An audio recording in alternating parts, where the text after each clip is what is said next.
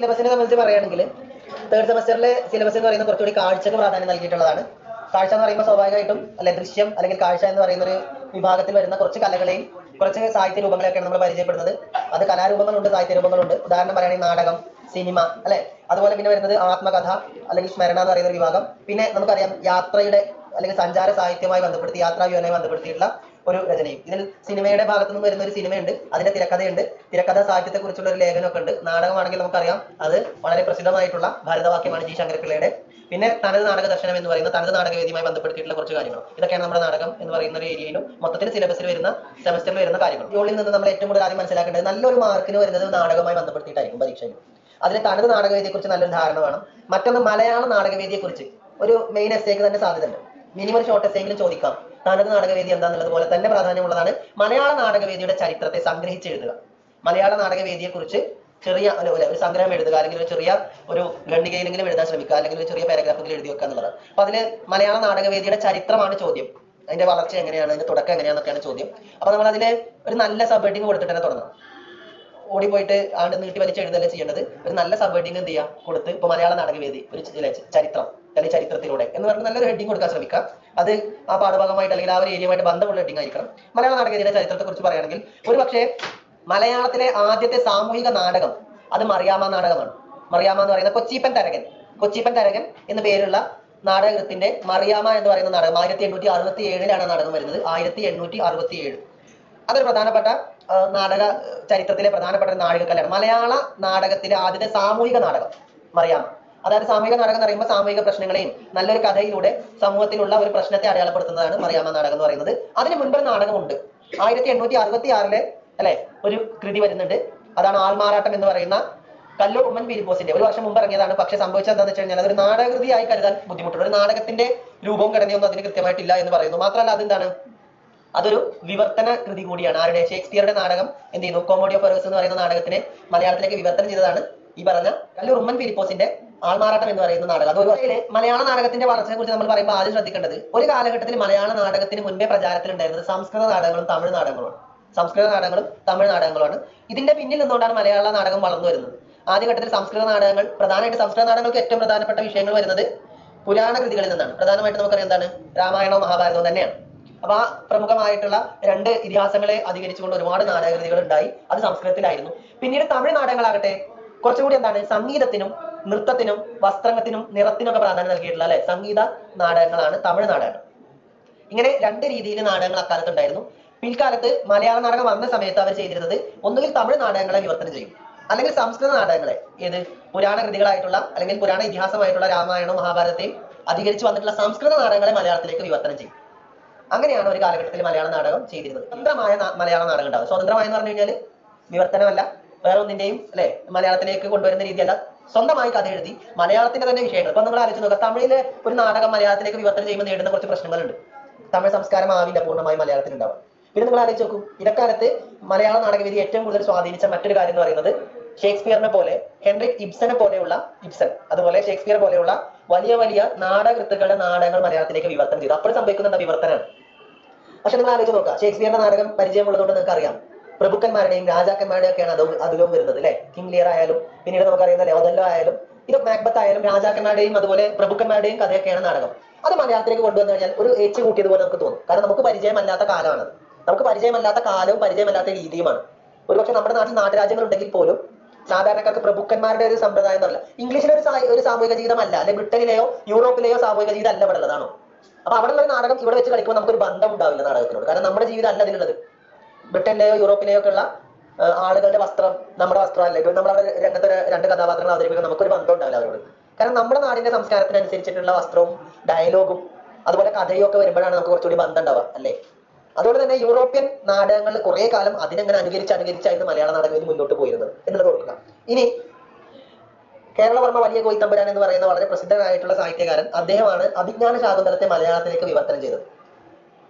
ഏതായാലും മലയാള നാടകവേദി ഒരുപാട് സംഭാവനകൾ മലയാള നാടകവേദി നൽകിയിട്ടുള്ളത് പോർച്ചുഗീസുകാരാണ്. അവരുടെ ചവിട്ട് നാടകം അടക്കമുള്ള കുറെ കലകൾ നമ്മുടെ നാട്ടിലുണ്ടല്ലോ. ഈ കലകളൊക്കെ പോലെ തന്നെ മലയാള നാടകത്തിന് വളരെയധികം സ്വാധീനം നൽകിയ ഒന്നാണ് എന്ത് പോർച്ചുഗീസുകാരുടെ കടന്നുവരവ് എന്നുള്ളത് ഓർക്കുക. പിന്നീട് നമ്മൾ എന്ത് ചെയ്യാണ്? യൂറോപ്യൻ നാടക രീതികളെ നന്നായി നമ്മൾ അനുകരിക്കാൻ തുടങ്ങി. ഏതായാലും ഇതിൽ പ്രധാനമായിട്ട് നമുക്ക് പറയാൻ പറ്റുന്ന ഒന്നാണ് റോമക്കാർ നമുക്ക് നൽകിയ റോമൻ സമ്പ്രദായത്തിൽ നിന്ന് വന്നിട്ടുള്ള റോമൻ ചക്രവർത്തിയെ കുറിച്ച് പുകഴ്ത്തി പാടുന്ന ജനോവ നാടകം. അത് നമ്മുടെ നാട്ടിലേക്ക് വന്നു. പിന്നീട് എന്ത് ചെയ്യാണ്? യാക്കോബ് നാടകം നെപ്പോളിയൻ ചരിതം കാർൽമാൻ നാടകം അല്ലെ? കാർൽമാൻ നാടകം യാക്കോബ് നാടകം നെപ്പോളിയൻ ചരിതം പോലെയുള്ള നാടകങ്ങളൊക്കെ മലയാളത്തിലേക്ക് വന്നു. പക്ഷെ കുറച്ച് കഴിഞ്ഞപ്പോൾ അതൊക്കെ എന്തായി? വെറും അനുകരണങ്ങളായി മാറി. കോപ്പിയടി മാത്രമായി. ഇംഗ്ലീഷ് നാടകങ്ങൾ അതേപോലെ ഇവിടെ കൊണ്ടുവരുമ്പോൾ പ്രശ്നം രണ്ടും തമ്മിൽ ചില പൊരുത്തക്കേടുകൾ ഉണ്ടാവും. കാരണം നമുക്ക് അതിനോടൊന്നും തോന്നില്ല. കാരണം നമ്മുടെ നാട്ടിൽ സമ്പ്രദായമല്ല. ക്ലിയർ ആണല്ലോ ഞാൻ പറഞ്ഞ ആശയം.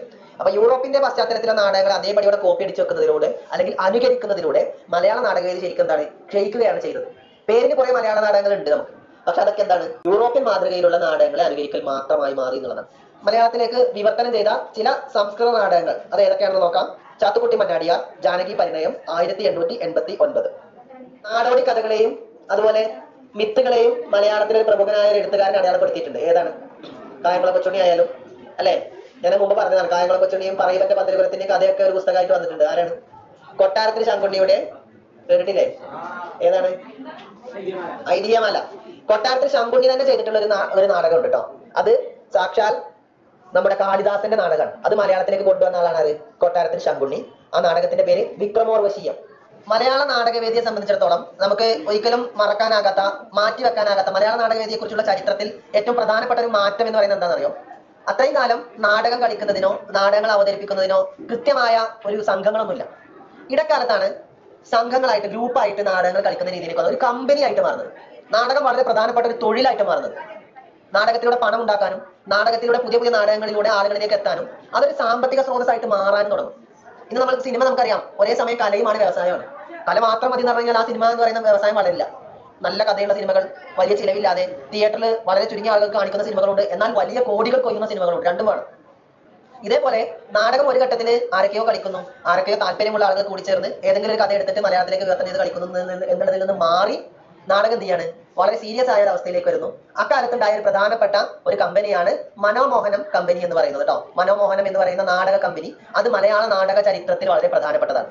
അതിന്റെ പിന്നിൽ പ്രവർത്തിച്ച ആളാരാണ് തിരുവട്ടാർ നാരായണപിള്ള. തിരുവട്ടാർ നാരായണപിള്ള എന്ന് പറയുന്ന അദ്ദേഹത്തിന്റെ പ്രത്യേകത അദ്ദേഹം ഒരു ഗാനരചയിതാവാണ് നടനുമാണ്. മുൻപ് മറ്റു പല നാടകങ്ങളിലും അവതരിപ്പിച്ചിട്ടുണ്ട് അദ്ദേഹം. ഭാഷാ ശാകുന്തളം എന്ന് പറയുന്ന ഒരു നാടകത്തിലെ നടനായിരുന്നു അദ്ദേഹം. ഭാഷാ ശാകുന്തളം എന്ന് പറയുന്ന നാടകത്തിലെ നടനായിരുന്നു. അപ്പൊ നടനും ഗാനരചയിതാവുമായിട്ടുള്ള തിരുവട്ടാർ നാരായണപിള്ളയാണ് മനോമോഹനം എന്ന പേരിലുള്ള കമ്പനി തുടങ്ങുന്നത്. മനോമോഹൻ കമ്പനിയിലൂടെ വന്ന നാടകങ്ങൾക്ക് എന്ത് ചെയ്തു? പ്രേക്ഷകർക്ക് രസിക്കുന്ന വിധത്തിലുള്ള ചില പൊടിക്കൈകളൊക്കെ അവർ കൊണ്ടുവന്നു. ചെറിയ മാറ്റമൊക്കെ വരുത്തിയിട്ട്.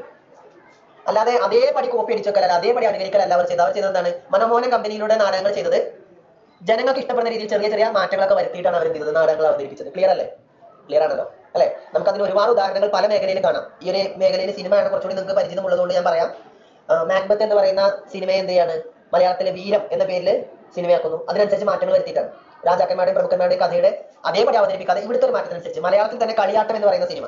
സുരേഷ് ഗോപിയും മഞ്ജു വാര്യനും ഒക്കെ അവതരിപ്പിച്ച് വളരെ പ്രസിദ്ധമായിട്ടുള്ള അവാർഡുകളൊക്കെ നേടിയ സിനിമ കളിയാട്ടം. അതിൽ സുരേഷ് ഗോപി അവതരിപ്പിക്കുന്നത് എന്താണ്? ഒരു കഥകളി നടനെയാണ്. ശരിക്ക് ആ സിനിമ കളിയാട്ടം എന്ന സിനിമ ശരിക്ക് ഒതല്ലോ എന്ന് പറയുന്ന ഷേക്സ്പിയറുടെ കഥയെ അനുകരിച്ചിട്ടാണ്. പക്ഷെ എന്താ ചെയ്തത്? അതിലെ കഥയിൽ നിന്ന് മാറ്റം വരുത്തിയിട്ട് ആശയം ഒന്നാണ്. ഭാര്യയെ സംശയിക്കുന്നു. അല്ലെ? വില്ലന്റെ വാക്കുകൾ കേട്ട് ഭാര്യയെ അവസാനം എന്ത് ചെയ്യാണ്? അയാൾ കൊന്നു കളയുന്നു. അതേ സംഭവം തന്നെയാണ് ഒതല്ലയുടെ ഒരു ഭാഗത്തേക്ക് വരുന്ന സമയത്ത് നമ്മൾ കാണുന്നത്. എന്ത് ചെയ്തു? അവിടെ കഥയിൽ ചെറിയ മാറ്റങ്ങളുണ്ട്. ഇവിടെ കഥ ഈ നമ്മുടെ നാടിനനുസരിച്ച് കഥയിൽ മാറ്റം വരുത്തി. അതുകൊണ്ട് നമുക്ക് മനസ്സിലായി. അല്ലാതെ പ്രമുഖന്മാരുടെ ചെയ്തൊക്കെ കാണിച്ചിട്ട് സിനിമയാണ് നമുക്കൊന്നും അതിനോട് വലിയ ബന്ധം തോന്നുന്നില്ല. ആയിരത്തി എണ്ണൂറ്റി തൊണ്ണൂറ്റി രണ്ടിൽ ഒരു തമിഴ് നാടക സംഘം കേരളത്തിൽ എത്തി എന്ന് ആര് പറയുന്നു? ജി ശങ്കരപ്പിള്ള പറയുന്നുണ്ട്. സംഗീതത്തിന് കൂടുതൽ പ്രാധാന്യം വർണശബളമായ വേഷവിധാനങ്ങൾ നിറമൊക്കെ പല തരത്തിലുള്ള അല്ലെ കണ്ണൻ ചിപ്പിക്കുന്ന നിറം. ശബ്ദ സംവിധാനം. ഇതൊക്കെയായിരുന്നു തമിഴ് നാടകങ്ങൾക്ക് ഉണ്ടായിരുന്നത് ഏതായാലും പിന്നീട് ഈ തമിഴ് നാടക സംഘങ്ങളെ അനുകരിച്ച് മലയാളത്തിലെ നാടക കമ്പനികൾ ഉണ്ടായി മനോമോഹനെ ഞാൻ നേരത്തെ പറഞ്ഞു അതേപോലെ തമിഴ് നാടക കമ്പനികളെ അനുകരിച്ചിട്ടാണ് എന്തുണ്ടാകുന്നത്? മലയാളത്തിൽ സ്വതന്ത്രമായ നാടക കമ്പനികൾ ഉണ്ടാകുന്നത് എന്ന് ഓർക്കുക. അത് നേരത്തെ പറഞ്ഞ തിരുവട്ട നാരായണപിള്ളയുടെ മനോമോഹൻ കമ്പനി ഉദാഹരണമാണ്. പിന്നെന്ത് ചെയ്യാണ് ചാത്തുക്കുട്ടി മന്നാടിയാരുടെ രസിക രഞ്ജിനി എന്ന് പറയുന്ന ഒരു നാടക കമ്പനി. അതാണ് സ്വതന്ത്ര നാടകങ്ങൾ. എന്താണ് വിവർത്തന നാടകങ്ങൾ? പേര് പോലെ പേരാലോചിച്ചാൽ മതി. വിവർത്തന നാടകങ്ങൾ എന്ന് പറഞ്ഞു കഴിഞ്ഞാൽ മറ്റു ഭാഷകൾ പ്രധാനമായിട്ട് യൂറോപ്പ് കേന്ദ്രീകരിച്ച് പിന്നെ തമിഴ് നാടകങ്ങൾ സംസ്കൃത നാടകങ്ങൾ മലയാളത്തിലേക്ക് വിവർത്തനം ചെയ്ത നാടകങ്ങളെയാണ് വിവർത്തന നാടകങ്ങൾ എന്ന് പറയുന്നത്. പേരിൽ തന്നെ ഉണ്ട്. സ്വതന്ത്ര നാടകങ്ങൾ എന്ന് പറഞ്ഞാൽ സ്വതന്ത്രമായ കഥയും മറ്റേതെങ്കിലും ഭാഷയെയോ നാടിനെയോ അധികരിച്ചിട്ടല്ലാതെ സ്വയം എഴുതി ഉണ്ടാക്കുന്ന സ്വതന്ത്രമായ കഥയെയാണ് അല്ലെങ്കിൽ നാടകങ്ങളെയാണ് സ്വതന്ത്രമായ കഥയുള്ള നാടകങ്ങളെയാണ് എന്ത് പറയുന്നത്? സ്വതന്ത്ര പ്രഹസന നാടകങ്ങൾ എന്ന് പറഞ്ഞു കഴിഞ്ഞാൽ മലയാളത്തിലെ ഗദ്യ നാടകങ്ങൾ. അപ്പൊ പദ്യ നാടകം എന്ന് പറഞ്ഞാൽ എന്താണ്? തമിഴ് നാടകങ്ങൾ പലപ്പോഴും പാട്ട് രൂപത്തിലായിരിക്കും ഞാൻ പറഞ്ഞില്ല സംഗീതത്തിന് കുറെ കൂടി പ്രാധാന്യം നൽകുന്നതായിരുന്നു തമിഴ് നാടകങ്ങളെങ്കിൽ. മലയാളത്തിലെ ഗദ്യ നാടകങ്ങൾ എന്താണ്? അത് ഗദ്യ രൂപത്തിലായിരുന്നു ഡയലോഗുകളൊക്കെ നമ്മൾ ഇന്ന് കാണുന്ന രൂപത്തിലുള്ള നാടകങ്ങളുടെ ആദ്യത്തെ രൂപമാണ് പ്രഹസനം. പ്രധാനമായിട്ട് പ്രഹസനം ഉണ്ടായത് ഇംഗ്ലീഷ് നാടകങ്ങളെ അനുകരിച്ചിട്ട് അല്ലെങ്കിൽ അടിസ്ഥാനമാക്കിയിട്ടാണ്. എന്താണ് പ്രഹസനം? പേരിൽ തന്നെ ഉള്ളതുപോലെ പരിഹാസമാണ് പ്രഹസന നാടകങ്ങളുടെ പ്രധാനപ്പെട്ട സ്വഭാവം. പരിഹസിക്കുക. അതൊരു പക്ഷേ സമൂഹത്തിലെ ഒരു പ്രവണതയാകാം സമൂഹത്തിലെ തെറ്റുകളെയാകാം അല്ലെങ്കിൽ ഒരു വ്യക്തിയുമായി ബന്ധപ്പെടുത്തിയിട്ടുള്ളതാകാം. ഇത്തരം കാര്യങ്ങളെ പരിഹസിക്കുക. നാടകത്തിലൂടെ സാമൂഹിക പരിഷ്കരണം നടത്തുക. കുഞ്ചൻ നമ്പ്യാർ ചെയ്ത അതേപടി തന്നെ. അല്ലെ? ആളുകളെ കളിയാക്കിയും വിമർശിച്ചും പരിഹസിച്ചുമാണ് അദ്ദേഹം അല്ലെ? അതാണ് എന്തുള്ളത്? പ്രഹസന നാടകങ്ങൾ എന്ന് പറയുന്നത്. ഇംഗ്ലീഷ് നാടകങ്ങളെ അടിസ്ഥാനമാക്കുന്നു. മലയാളത്തിലെ ഗദ്യ നാടകങ്ങളുടെ ആദ്യ രൂപം മാത്രമല്ല പരിഹാസമാണ് പ്രധാനപ്പെട്ട പ്രത്യേകത അല്ലെ? എന്ന് പറയാം. ഇനി ഏതാണ് ആദ്യത്തെ പ്രഹസന നാടകം? ആയിരത്തി എണ്ണൂറ്റി എൺപത്തി അഞ്ചിൽ സി വി രാമൻപിള്ള വളരെ പ്രസിദ്ധനായ സി വി രാമൻപിള്ളയുടെ ചന്ദ്രമുഖി വിലാസം എന്ന് പറയുന്നതാണ് പ്രഹസന നാടക പ്രസ്ഥാനത്തിലെ ആദ്യത്തെ നാടകങ്ങൾ. അക്കാലത്ത് പ്രഹസന നാടകങ്ങളുടെ ഏറ്റവും പ്രധാനപ്പെട്ട ഒരാളായിരുന്നു സി വി രാമൻപിള്ള. അതിലെ പ്രധാനിയാണ് സി വി രാമൻപിള്ള. അദ്ദേഹത്തിന്റെ രണ്ട് മൂന്ന് നാടകങ്ങൾ ഞാൻ പറയാം. കുറുപ്പില്ല കളരി പണ്ടത്തെ പാച്ചൻ ബട്ട്ലർ പപ്പൻ. ഒക്കെ പേരിൽ തന്നെ നമുക്കറിയാം അല്ലെ? ഒരു തമാശയാണ് പരിഹാസമാണ് അതിലുള്ളത് കുറുപ്പില്ല കളരിക്ക് ഒരു പ്രത്യേകത ഉണ്ട് അദ്ദേഹം ആ നാടകം അവതരിപ്പിക്കാൻ തുടങ്ങിയ അല്ലെങ്കിൽ ആ ഒരു നാടകം കൊണ്ടുവരാനുള്ള കാരണം എന്താണ്? എന്താ കുറുപ്പില്ല കളരി എന്ന് പറയുന്ന വാക്കിന് അർത്ഥം എന്നുള്ളത് ആദ്യം ആലോചിക്കാം. ഒരു ഒരു കളരി നടത്തുന്ന ആശാൻ ഉണ്ടാകും നാഥനില്ലാത്ത കളരി നമ്മൾ പറയാറില്ല സാധാരണ അല്ലെ? പഠിപ്പിക്കാൻ ഒരാളില്ലെങ്കിൽ എന്തായിരിക്കും അവസ്ഥ? വെട്ടും തടയും അല്ലെങ്കിൽ കളരി പഠിപ്പിക്കാൻ ആശാനില്ല. കുറെ ശിഷ്യന്മാരുണ്ട്. എല്ലാവരും കൂടെ എന്തൊക്കെയോ വിഡിതം കാട്ടി വെക്കും. അല്ലെങ്കിൽ ചെയ്തു വെക്കുന്നേ ഉള്ളൂ. ക്ലിയർ ആണല്ലോ? അതേപോലെ കുറിപ്പില്ല കളരി. പഠിപ്പിക്കുന്ന കുറിപ്പ് അവിടെ അല്ല അത് അദ്ദേഹം എഴുതാനുള്ള കാരണം എന്താ വെച്ചാൽ ഞാൻ പറഞ്ഞല്ലോ. സംസ്കൃത നാടകങ്ങൾ തമിഴ് നാടകങ്ങൾ അതുപോലെ യൂറോപ്യൻ നാടകങ്ങൾ അല്ലെങ്കിൽ ഇംഗ്ലീഷ് നാടകങ്ങൾ. ഇതിനെ അനുകരിച്ച് അനുകരിച്ച് ആളുകൾ തോന്നിയതൊക്കെ നാടകമായി പ്രത്യേകിച്ച് ഒരു കഥയൊന്നുമില്ല. വെറുതെ നാടകങ്ങൾ അങ്ങനെ ഉണ്ടാവാം. അപ്പോൾ സി വി രാമൻപിള്ള ഇത് എഴുതുന്ന അല്ലെങ്കിൽ ഈ നാടകം ചെയ്യുന്ന സമയത്ത് നിരവധി നാടകങ്ങൾ ഉണ്ടായി പ്രത്യേകിച്ച് കഥയുമില്ല ആശയവുമില്ല. നാടകമാണെന്ന് വെച്ച് കഴിഞ്ഞാൽ നാടകമാണേലും. എന്നാൽ അത് നാടകത്തിന്റെ ഒരു ആശയമോ നല്ലൊരു നാടകമല്ല അങ്ങനെ തോന്നിയ പോലെ ആരും വന്ന് നാടകങ്ങൾ ചെയ്യുന്ന ഒരു അവസ്ഥ വന്നു. നാടകങ്ങൾക്ക് മൂല്യമില്ലാതെയായി. അതിനെ പരിഹസിച്ചുകൊണ്ടാണ് അദ്ദേഹം ചെയ്യുന്നത് കുറിപ്പില്ല കളരി എന്നുള്ള പേരിൽ എന്ത് ചെയ്യുന്നത് ഒരു നാടകം എഴുതുന്നത്. അതിനർത്ഥം മലയാള നാടകവേദിയിൽ കാര്യങ്ങളൊക്കെ നിയന്ത്രിക്കാനും നല്ല രീതിയിൽ നാടകം നല്ല രീതിയിലുള്ള നാടകങ്ങൾ നോക്കി നടത്താൻ ആളില്ല. എന്ന് വെച്ചാൽ ഏത് നാടകമാകുന്ന വളരെ മോശപ്പെട്ട അവസ്ഥയാണ് മലയാള നാടകവേദി എന്ന് അദ്ദേഹം സൂചിപ്പിക്കുകയാണ് ആ ഒരു നാടകത്തിലൂടെ. ഇതോടുകൂടി നമ്മുടെ സി വിയുടെ ഈ ഒരു വരവോട് കൂടി എന്ത് ചെയ്തു? നാടകരംഗം ഒന്ന് സജീവായി. പ്രഹസന നാടകങ്ങളുടെ ഒരു അല്ലേ നിറഞ്ഞ അല്ലെങ്കിൽ ആറാട്ടായിരുന്നു ആ സമയത്ത്. കുറെ ആ സമയത്ത് കുറെ നാടകൃത്തുക്കൾ വന്നു. E V Krishna Pillai N P Chellappan Nair T N Gopinathan Nair Jagathy അല്ലെ എൻ കെ ആചാരി അല്ലെ തുടങ്ങിയവർ അവരുടേതായിട്ടുള്ള സവിശേഷ രീതിയിൽ ഒട്ടേറെ പ്രഹസന നാടകങ്ങൾ അവതരിപ്പിച്ചു. അപ്പൊ ഓർക്കുക E V Krishna Pillai N P Chellappan Nair. രണ്ടു ഓർത്ത് വെക്കുക എൻ പി ചെല്ലപ്പൻ നായരും ഇ വി കൃഷ്ണപിള്ളയുമാണ് ഈ ഒരു മേഖലയിൽ പ്രധാനമായിട്ട് പരിഹാസ സൂചകമായിട്ടുള്ള പ്രഹസനങ്ങൾ നിർമ്മിച്ചത്. ചീത്ത സാമൂഹിക പ്രവണതകൾ തുറന്നു കാണിക്കുകയും വിമർശനത്തിന് വിധേയമാവുകയും ചെയ്യുന്നത് ഈ ഒരു സമയത്ത്. നമ്മൾ ഇനി പറയുന്ന വളരെ പ്രധാനപ്പെട്ടത്. ഒരു പക്ഷേ ഒരു ഷോർട്ട് എസ്സേയോ അല്ലെങ്കിൽ ഒരു മെയിൻ എസ്സേ തന്നെ ചോദിക്കാൻ സാധ്യതയുള്ള നമ്മുടെ ഈ ഒരു സിലബസിലെ മലയാള നാടകവുമായി ബന്ധപ്പെടുത്തിയിട്ട് നമ്മൾ ഏറ്റവും കൂടുതൽ മനസ്സിലാക്കേണ്ട ഒരു ഏരിയ എന്ന് പറയുന്നത് തനത് നാടകവേദിയാണ്. എന്താണ് തനത് നാടകവേദി? നമുക്കറിയാം നമ്മൾ നേരത്തെ പറഞ്ഞ കുറെ നാടക സമ്പ്രദായങ്ങളെ കുറിച്ചൊക്കെ നമ്മൾ പറഞ്ഞു. മലയാള നാടകത്തിന്റെ ചരിത്രത്തിൽ ഏറ്റവും പ്രധാനപ്പെട്ട കാര്യങ്ങളെ കുറിച്ച് നമ്മൾ പറഞ്ഞു. സംസ്കൃത നാടകങ്ങൾ തമിഴ് നാടകങ്ങൾ അതിന്റെയൊക്കെ സ്വാധീനം യൂറോപ്യൻ നാടകങ്ങളുടെ സ്വാധീനം. ഇതിൽ നിന്നൊക്കെ മാറി വേറെ രാജ്യത്തിന്റെയോ അല്ലെങ്കിൽ വേറെ സംസ്കാരത്തിന്റെയോ വേറെ ഭാഷയുടെ സ്വാധീനത്തിലല്ല മലയാള നാടകവേദി വളരേണ്ടത് എന്നും നമ്മുടെ നാടിന്റെ സംസ്കാരത്തിനും മലയാള തനിമയിലും നമ്മുടെ പ്രദേശത്തിന്റെ അല്ലെങ്കിൽ നമ്മുടെ നാടിന്റെ സ്വഭാവത്തിലും ജനങ്ങൾക്ക് മനസ്സിലാകുന്ന തരത്തിലുള്ള നാടകങ്ങൾ. നമ്മുടെ സംസ്കാരത്തോട് കൂടുതൽ ഇഴകി ചേർന്നിട്ടുള്ള നാടക രീതി അതിനെയാണ് തനതു നാടകവേദി എന്ന് പറയുന്നത്. ഇത്രയേ ഉള്ളൂ. നാടകത്തിലെ വൈദേശിക അംശങ്ങൾ വിദേശ അംശങ്ങൾ എന്ന് പറഞ്ഞു കഴിഞ്ഞാൽ എല്ലാം വരും. അത് യൂറോപ്പ് ഇംഗ്ലണ്ടിലെ ആയാലും ബ്രിട്ടീഷുകാരുടെ ആയാലും യൂറോപ്പിലായാലും ഷേക്സ്പിയർ നാടകമായാലും ഇബ്സൺ നാടകമായാലും അതെല്ലാം വരും. ഇങ്ങനെ വിദേശികളുടെ അംശങ്ങൾ അഥവാ നമ്മുടെ നാടിന്റെതല്ലാത്ത എന്തൊക്കെയുണ്ടോ അതിനെയൊക്കെ മാറ്റി നമ്മുടെ നാടിന്റെ തനിമയെ നാടകവേദിയിലേക്ക് കൊണ്ടുവരിക. ചിലപ്പോൾ ഡയലോഗ് ഡെലിവറി ആകാം കഥാപാത്രം നിൽക്കുന്ന രീതിയാകാം കഥാപാത്രങ്ങളുടെ വേഷമാകാം സംഭാഷണമാകാം ഇതെല്ലാം ചേർന്നതാണ് ഒരു നാടകവേദി. അപ്പോൾ നമ്മുടെ നാടിന്റെ സംസ്കാരത്തെ നാടകവേദിയിലേക്ക് കൊണ്ടുവരുന്നതിനെയാണ് തനത് നാടകവേദി എന്ന് പറയുന്നത്. എങ്ങനെ? വൈദേശിക നാടകങ്ങളെ അല്ലെങ്കിൽ വൈദേശിക അംശങ്ങളെ ഒഴിവാക്കിക്കൊണ്ട്. അതിന് അവർ പറയുന്ന പ്രധാനപ്പെട്ട ഒരു കാര്യം എന്താണെന്ന് വെച്ച് കഴിഞ്ഞാൽ ബ്രിട്ടീഷുകാരോ മറ്റു രാജ്യങ്ങളോ ഇവിടെ നിന്ന് പോയെങ്കിലും നമ്മളെ ഭരിച്ചിരുന്ന ബ്രിട്ടീഷുകാരടക്കമുള്ള വിദേശികൾ ഇവിടെ നിന്ന് പോയെങ്കിലും ഇപ്പോൾ നമ്മൾ അവരുടെ നാടകരീതിയാണ് അനുകരിക്കുന്നതെങ്കിൽ അതിനർത്ഥം നമ്മൾ ഇപ്പോൾ എന്താണ്? അടിമകളാണ്. അപ്പൊ ബ്രിട്ടീഷുകാരടക്കമുള്ള വിദേശികളെ നമ്മളെ ഭരിക്കുകയാണ് നമ്മുടെ കലകളിലൂടെ. സാംസ്കാരിക അധിനിവേശമാണത്.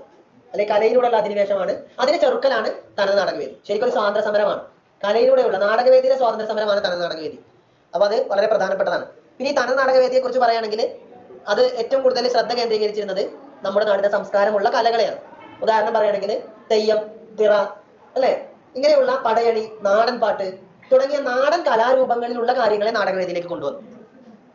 നാടൻ പാട്ടിലുള്ള കുരുത്തോലയായാലും പാട്ട് രീതി ആയാലും ചുവടുകളായാലും അതൊക്കെ എന്തിനേക്ക് കൊണ്ടുവന്നു? തനത് നാടകവേദിയിലേക്ക് കൊണ്ടുവന്നു. അപ്പൊ അങ്ങനെയാണ് തനത് നാടകം. എന്താ തനത് എന്ന് പറഞ്ഞ വാക്കിനെ കുറിച്ച് ചിന്തിച്ചാൽ മതി. സ്വന്തമായത് തനിമയുള്ളത് അല്ലെ? മറ്റുള്ളവരിൽ നിന്ന് വ്യത്യസ്തമായത് എന്നൊക്കെ വേണമെങ്കിൽ നമുക്ക് അതിന് അർത്ഥം പറയാം. തനത് നാടകവേദി എന്ന് പറയുന്നത് നാടകവേദി അങ്ങനെയാണ് ഉണ്ടാകുന്നത്. ക്ലിയർ അല്ലേ? എന്തുകൊണ്ട് ഉണ്ടായെന്ന് വെച്ച് കഴിഞ്ഞാൽ വിദേശീയ അംശങ്ങളെ ഇല്ലാതാക്കിക്കൊണ്ടാണ് അത് ഉണ്ടായത് നമ്മുടെ നാടിന്റെ സംസ്കാരത്തിന് യോജിച്ച രീതിയിൽ നാടകങ്ങളെ കൊണ്ടുവന്നു. ഈ അനുകരണം ഒഴിവാക്കിക്കൊണ്ട് മലയാളത്തിന് സ്വന്തമായ ഒരു നാടകവേദിയെ കൊണ്ടുവന്നു. അതിനുള്ള ശക്തി എന്തിനുണ്ട്? നാടകവേദികൾ ഉണ്ട് എന്നുള്ള രീതിയിൽ പറയാം അല്ലെ?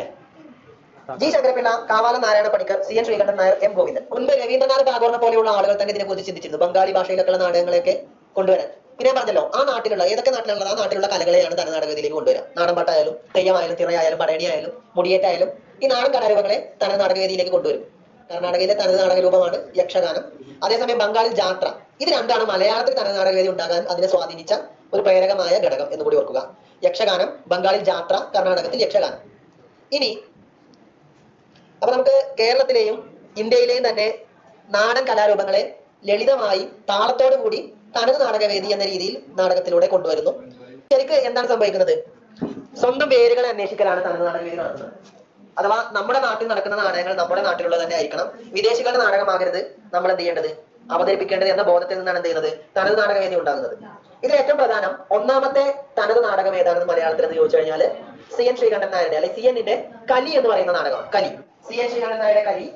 ജി ശങ്കരപിള്ളയുടെ കറുത്ത ദൈവത്തെ തേടി അതുപോലെ കാവാലത്തിന്റെ അവനവൻ കടമ്പ. ഇത് മൂന്നും ഇത് മൂന്നും തനത് നാടകവേദിയുടെ ഏറ്റവും പ്രധാനപ്പെട്ട സംഭാവനകളാണ്. ഈ മൂന്ന് നാടകങ്ങൾ തനത് നാടകവേദിയുടെ വളരെ പ്രധാനപ്പെട്ട നാടകങ്ങളാണ് എന്ന് ഓർക്കുക. ഓക്കെ മുപ്പതോ നാടക നടന്മാരും നടികളും ഉണ്ടായിരുന്ന കഥാപാത്രങ്ങൾ ഉണ്ടായിരുന്ന നാടകത്തിന്റെ സമയത്താണ് ജി ശങ്കരപ്പിള്ള ഭരതവാക്യം എന്ന നാടകം എഴുതുന്നത്. അതിലെ കഥാപാത്രങ്ങൾ നമുക്കറിയാം.